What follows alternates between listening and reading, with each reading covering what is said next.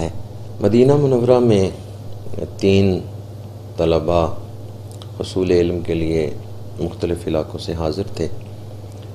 इस बात को तस्करतुल्फ़ाज लज़ाहबी में बयान किया गया है। वो तीनों तलबा भूखे थे, खाने को कुछ चीज़ दस्तियाब नहीं थी। पहले तो उन्होंने रोज़े रखे लेकिन जब बेताब हो गए, बर्दाश्त न कर सके तो सोचा चलो आज हजूर की दहलीज पे जाके सदा देते हैं। वो तीनों हजूर के दरवाज़े पे आए रोज़ा पाक के सामने खड़े होकर उन्होंने सदा दी, या रसूल अल्लाह अलजू या रसूल अल्लाह अलजू या रसूल अल्लाह अलजू कुछ अर्स वक़्त वो ये सदा देते रहे। फिर उनमें से दो ने ये कहा कि चलो वापस क़यामगाह पे चलते हैं।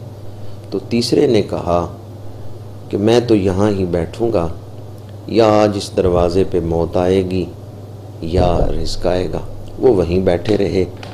दो तालब तालब इलम वापस अपनी क़यामगाह पे चले गए।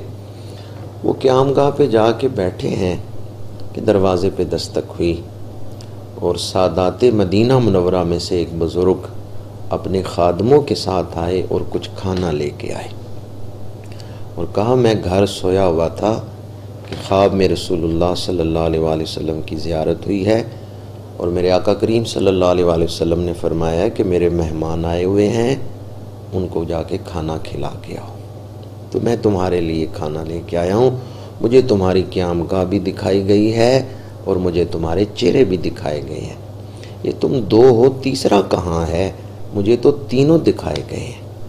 तो अब वो दो जो थे, उन्होंने कहा कि तीसरा हमारा साथी तो हजूर के दरवाजे पे बैठ गया, वो तो वहाँ से उठ के आया ही नहीं है। अब गए, दौड़ के उनको बताया, उन्हें भी उठा के क्याम गाह पे लाए। ये तीन तालब इलम कौन थे? ये अपने वक्त के अजीम मुहदस थे। एक इमाम तबरानी थे। दूसरे हज़रत इमाम इब्नुल थे और तीसरे जो हैं वो इमाम अबू शेख थे। और अक्सर उलमा या आ, हमारे तलबा अब या अवाम वो इमाम तबरानी के नाम से वाकिफ़ हैं।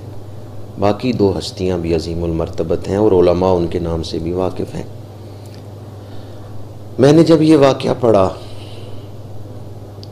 तो इस अकीदे पर और भी ईमान पुख्ता हुआ कि वल्लाह वो सुन लेंगे, इमदाद को पहुँचेंगे, इतना तो हो कोई फरियाद करे दिल से। कोई दिल से हजूर को पुकार के तो देखे।